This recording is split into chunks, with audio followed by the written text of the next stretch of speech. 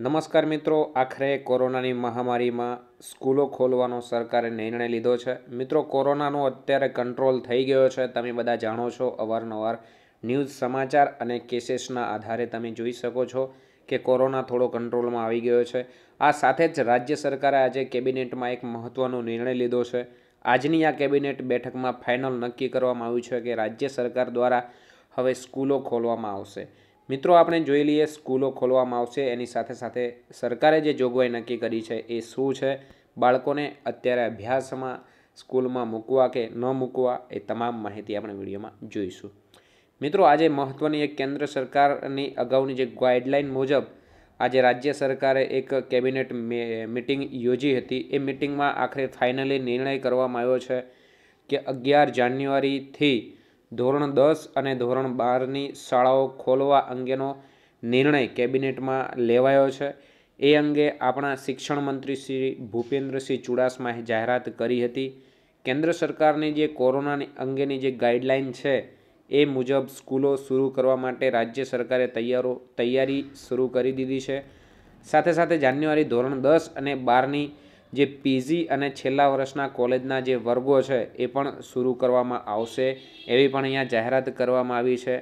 તમે મિત્રો જોઈ શકો છો, શિક્ષણ મંત્રી શ્રી ભૂપેન્દ્રશ્રી ચુડાસમાએ જણાવ્યું હતું કે રાજ્યમાં આગામી અગિયારમી જાન્યુઆરી બે હજાર એકવીસથી ધોરણ દસ, ધોરણ બાર તથા સ્નાતક અનુસ્થા, અનુસ્નાતકના જે છેલ્લા વર્ષનું શૈક્ષણિક કાર્ય અત્યાર સુધી બંધ હતું, એ ચાલુ કરાશે. મુખ્યમંત્રી રૂપાણી તથા નાયબ મુખ્યમંત્રી શ્રી નીતિનભાઈ પટેલ અધ્યક્ષસ્થાને મળેલી આ રાજ્ય સરકારની મહત્ત્વની મંત્રીમંડળની એક આ બેઠક હતી.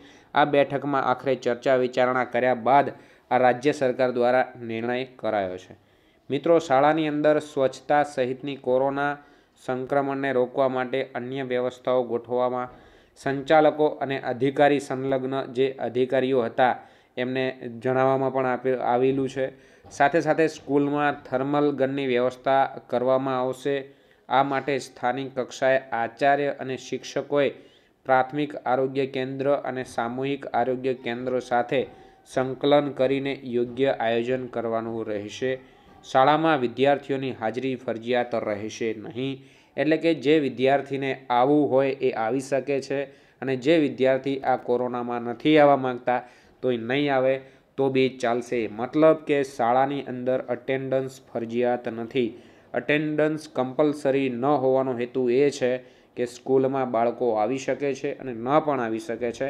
સાથે સાથે વાલીની કોઈ અહીંયા ડિક્લેરેશન લેવામાં નહીં આવે એવું પણ જણાવવામાં આવ્યું છે.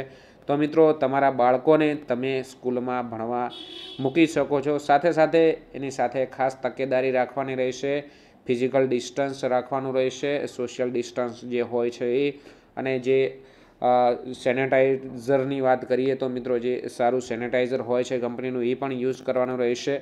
જેથી સંક્રમણ જે કોરોનાનો ફેલાય છે, એમાં ઘટાડો કરી શકાય. મિત્રો બસ આ જ અગત્યના સમાચાર હતા સ્કૂલ અંગે. ફરી નેક્સ્ટ વિડીયોમાં મળીશું. ત્યાં સુધી આવજો. જય જવાન. જય કિસાન.